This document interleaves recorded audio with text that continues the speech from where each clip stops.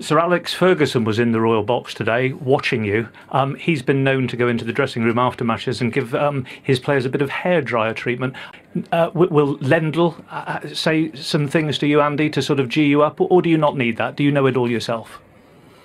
Uh, I don't know it all, um, far from it, but I, I, don't see why I should get told off after that. I fought as hard as I could, um, tried incredibly hard, chased every single ball down from the first point to the last, and um, I came through an incredibly tough match. It could have gone the other way, and um, I, I found a way to get through, and that's all you need. Yeah, and, and, and it is a fantastic achievement to make yet another Wimbledon semi final. Brilliant for you, such character. Yeah, it is very difficult to do that. A brilliant performance, very well done. Thanks. I thought they were going to show seems so calm.